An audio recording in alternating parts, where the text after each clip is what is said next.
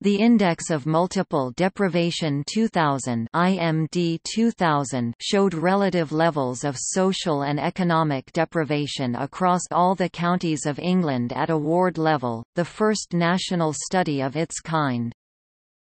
Deprivation across the 8,414 wards in the country was assessed, using the following criteria. Income. Employment.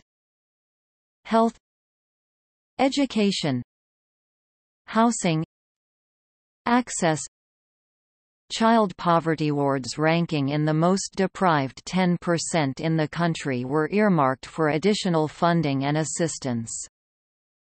The five most deprived wards in England were found to be 1.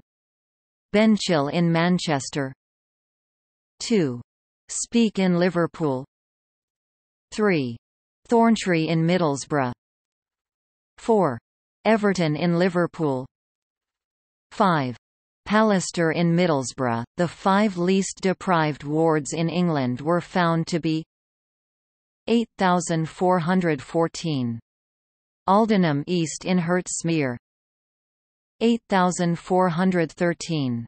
Chorleywood West in Three Rivers 8412. Riverhead in Sevenoaks 8411.